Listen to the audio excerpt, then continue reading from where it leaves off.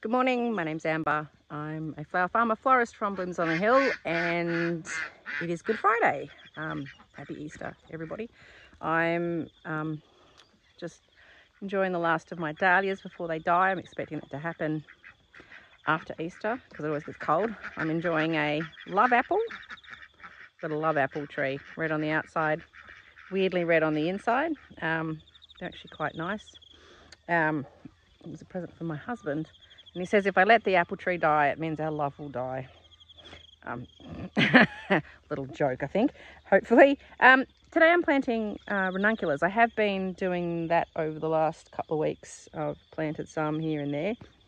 So I will show you what I've planted already. I've got a couple of patches.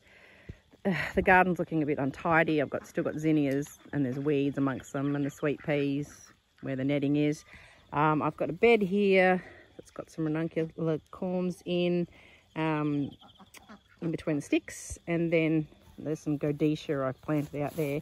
And then there's a few more ranuncular corms in there.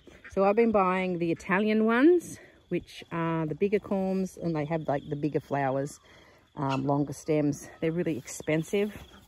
But here we go. These, uh, well, here's some weeds, of course. Have already come up, but here, this little fellow here there's a ranunculus already coming up. There's another one there. There's another one there. And over there. Actually, they've just really started to come up. So that's really good. It's actually started raining. Supposed to rain all weekend, which is really unusual because normally you get a really nice Easter. Um, now, these are my ranunculus corms that I've got. Um, there's only, I think, 10 of them in this lot that I ordered. And these ones are salmon really pretty colour. Um, they're in a jar because I soaked them.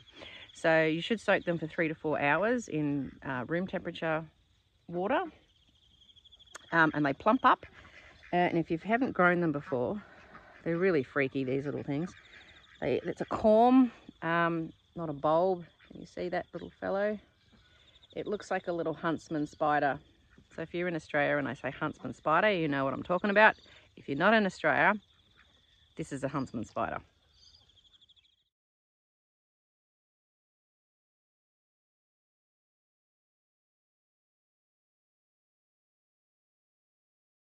So fun fact about huntsman spiders, if you're not in Australia, they are yeah, horrible looking. They also live in your house generally. Well, they live everywhere, but they like to be in your house. And you find them on your walls. Um, they like to take residence.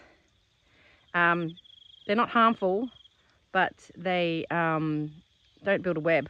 So what's even more revolting about them is they just like, they're very good at like chasing and pouncing on their prey. so, um, and I once had like a really big one rushed out from underneath my fridge and I actually heard the tapping of its feet on the lino.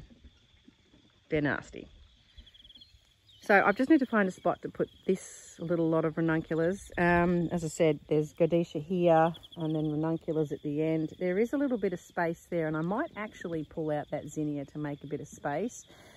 At this bed here where there's ranunculus in, there is that dahlia at the end there, which I sort of don't really want to pull that out just yet, but it's probably not far off disappearing anyway. So we might go with this little space here that should fit that 10 in there. And I do have some more corms coming. Um, we're getting around to all these beds. You can see that the grass has already started to come up in them. One day I'm going to do raised beds, but the statice is in and doing all right. And some um. There's a bit more scabiosa went in here. This stock is all in here. And then there's more space for more stock up that way. Once those asters will be gone, of course, and a couple of zinnias and um, dahlias that are there. So anyway, it's ranunculus today that we're dealing with. Okay, I've just cleared a spot for these ranunculus. Um, here, I'm on a bit of an angle, sorry. The phone's sitting on a thing. it's all very awkward. So look, this is really simple. Um, I put mine 20 centimetres apart. Um, I probably could go a little further apart. Um, so anyway, I've just got my Dutch not Dutch. I used my Dutch hoe to clear this part. I'm getting very confused. I'm getting wet too, it's raining. Um, my hori hori knife, if you haven't got one of these, these are awesome. They've got a serrated edge so you can hack at stuff and also dig. And they've got like a measurement down the blade so you know how far you're digging. Um, yeah, just to dig a little hole. Um, they don't have to go in too far. So you're not digging to China or anything. And I'm just popping them sort of, yeah, 20 centimetres apart.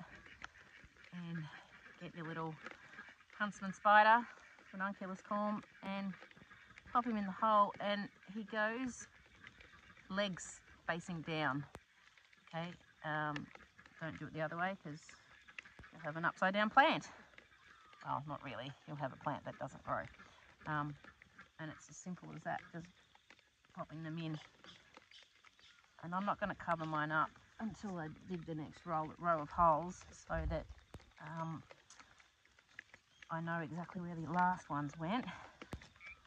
So I get them about a good distance apart. So as I said, these are Italian ones. Um, I didn't have these Italian ones last year. I just had some mixes that I got from a bigger nursery, online nursery store. Um, and they weren't very tall. But the Italian ones are the proper ones that you want to grow flower farming. Um, and, well, anyone can grow them, of course, but yes, you get the longer stems. Um, ranunculus are great because you get multiple flowers, okay? So it's not just like a one and done. For example, like a tulip or a daffodil or a stock flower. Um, you'll get, yeah, more than one stem, which is great. So they these Italian ones are a bit dearer, as I said, but um, you, want to get the better flowers. Um, and like they're an early spring flower, so if you've got weddings in early spring, and they're just, they're like a, almost like a rose. They last um, like 10 to 14 days in the vase and they just keep opening up all these layers of petals and they look beautiful at every stage even just before they're about to die they look fantastic um, what else about them? Oh, they can be scented too. So I had a few last year. The odd one had a scent and it was sort of like a rose, but not, which was, they were really lovely. Uh, and, and I'm hoping that these bigger ones are better again with their scent. So um, I've had a bit of an inquiry for a wedding for September. Um, so if that's a booking, um, you know, ranunculus would be perfect. So the ones I'm growing, I've gone quite, well, I've been quite conscious of getting wedding colours. So I've got pinks, whites, salmon, and also a bit of orange. Uh, there was a bit of a stuff up with an order where I thought I'd ordered more white than I actually had, and it turned out their, their website was wrong. I don't know. Anyway, I got some free orange um, so I think the orange might be nice. It's really raining much heavier now. It's supposed to be horrible all weekend. So I'm nearly finished here. So I hope everyone has a really good Easter and that the Easter Bunny brings you lots of chocolates. My husband keeps threatening to shoot the Easter Bunny. So much to my children's horror. uh, they don't really believe him, I don't think. Um, I've only got a couple to do here. And uh, yeah, other than that, we're just working this weekend as usual. Hope everyone goes away. We don't. We've been shearing lambs last night, late last night, and we've got a whole bunch more to shear. So it's just a typical working weekend for us. So anyway, thanks for watching, and I'll see you next time. Have a good Easter.